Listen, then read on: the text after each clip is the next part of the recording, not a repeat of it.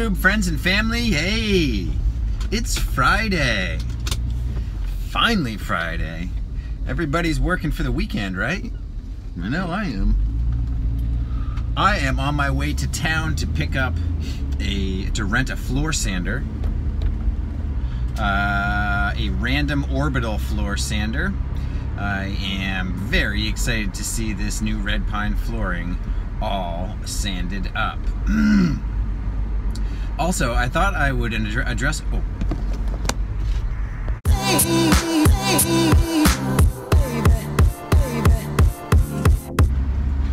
I just love that view over that pond for some reason. I, I hope you do too, because I show it almost every time I go to town. Um, oh, yes. Anyway, about expansion and contraction um, of the pine boards. You know, the narrower the board, the less expansion and contraction happens. So cer certainly if I had one foot or 16 inch wide boards, I would definitely need to leave some room for expansion. In my experience, uh, especially with, you know, this tree was just standing alive last March or February. Uh, so there's still probably a little bit of drying that's occurring. So in my experience, if it's not kiln dried lumber, it's probably still going to shrink some. So I'm totally expecting that this is this wood is still going to shrink. Therefore, I don't really need to worry about expansion and contract. And it's hard to plan in a gap. How do you keep a gap even? You know, it's really just a difficult thing to do. Certainly, if you're doing decking in an exterior application, you know, decking when it gets really wet, it's going to expand. But for interior uh, conditions, typically don't leave the flooring exposed to that much moisture. It's part of the reason I put down that rosin paper, though, to help provide a, a, a buffer, um, if you will. So anyway, good question. I forget there was at least two of you that asked it, so I thought it was on my mind. I should address it. I'm going to do a much longer question and answer at some point this weekend because I know there have been so many great questions and comments that I just have not had the time to reply to, and I really want to. So, anyway.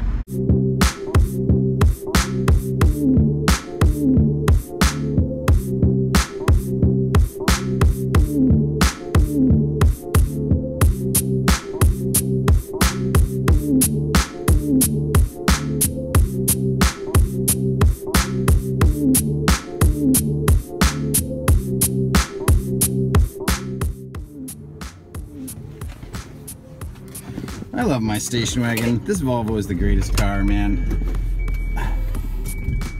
Otherwise, I would have had to take a truck, you know, but that thing fits back there very nicely.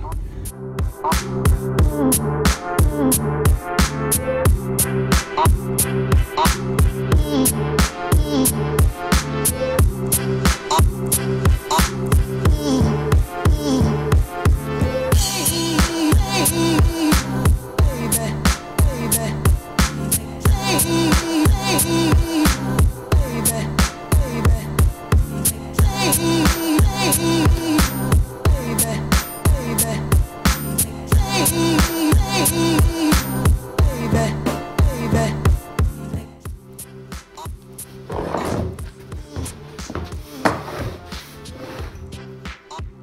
Like I said, you need to set the heads of the nails so that when you're sanding, you're not sanding the tops of the nail heads because the nail heads will sand off and then you don't have any holding power. And then of course it degrades the sanding um, pad.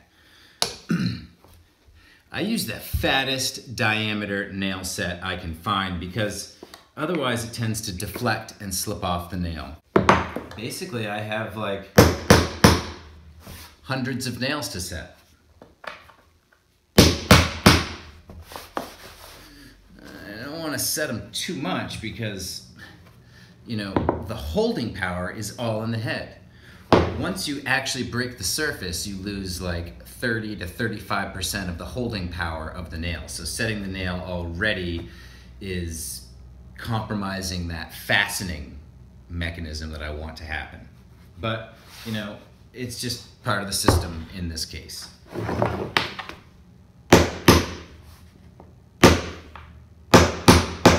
All right, I'm gonna get systematic about this.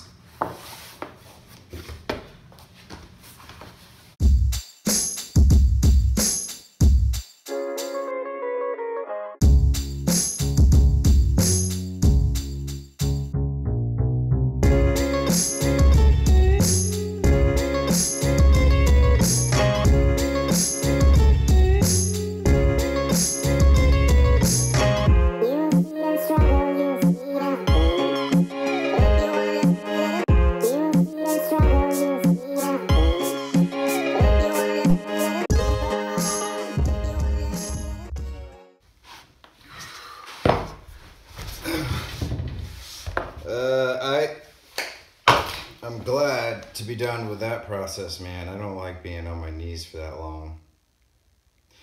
Whew. All right. So next step basically is to sand this puppy up. Now I got to do just a little quick rearranging here. Pull in the floor sander somehow. That thing is heavy. Um, get this show on the road.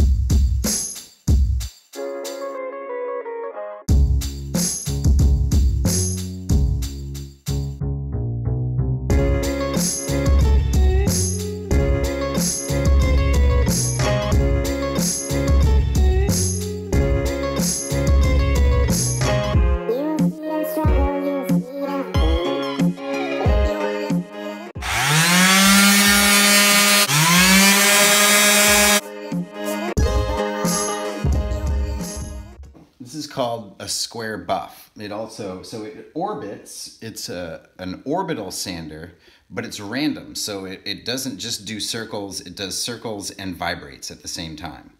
There is a uh, fiber mesh pad to which these um, sanding sanding sheets stick to. You work up through all of these grits. This is 20 grit, this is 35, I think, or 36. Uh, this is 60, this is 80, this is 100. That means per square inch, there are that many grains of mineral uh, glued to this paper. So the 20 grit per square inch, 20 grains. 100 grit, which is where I want to end up for the final sanding, 100 grains per square inch. I'm not going to use this. Look at that. That is super, super aggressive. I've never used the 20. I may, I may even skip the, uh, what is this? The 36 and go directly to, to the 60.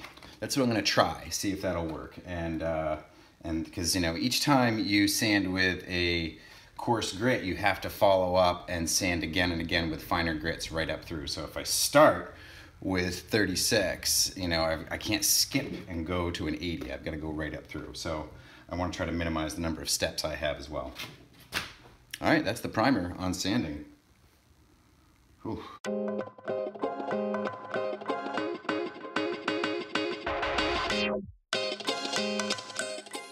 Just set it down, turn it on, and walk away. Gonna start down there though.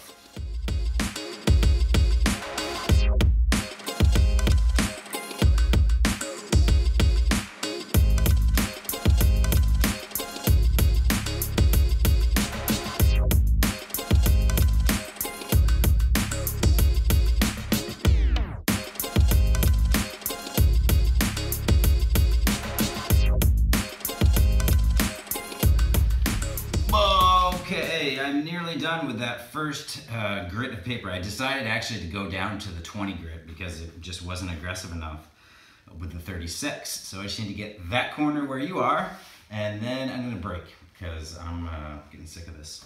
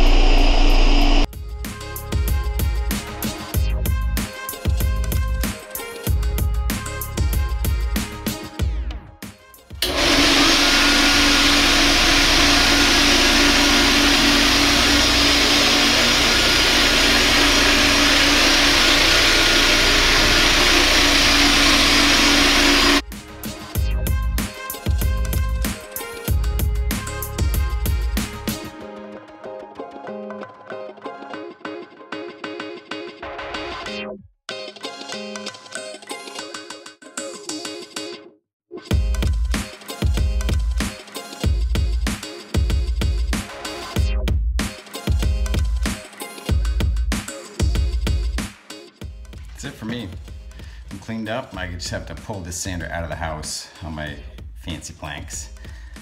Load up some tools and get that sander back. What do you think?